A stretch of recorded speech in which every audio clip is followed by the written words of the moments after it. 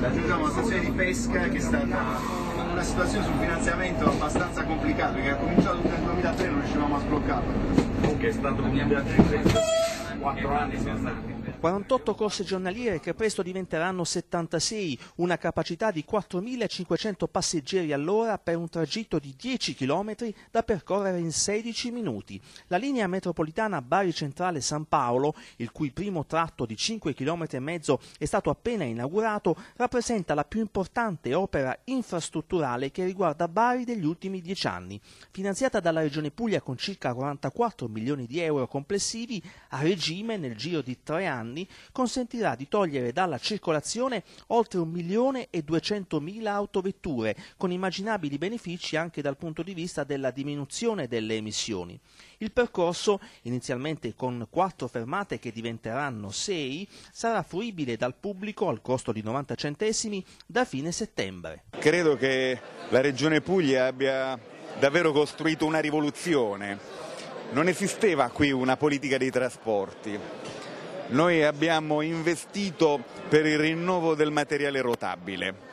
Nel giro dei prossimi due anni i pugliesi conosceranno, già cominciano a conoscere in alcuni segmenti di territorio pugliese eh, vagoni che non sono reperti archeologici. Abbiamo con questa opera che oggi abbiamo potuto vedere in tutto il suo splendore ricucito eh, pezzi fondamentali della città di Bari in questa città noi abbiamo implementato il trasporto pubblico locale per un milione e mezzo di chilometri supplementari. Abbiamo fatto vivere il trasporto aereo che registra oggi in Puglia i picchi più alti di crescita rispetto a tutto il resto d'Italia.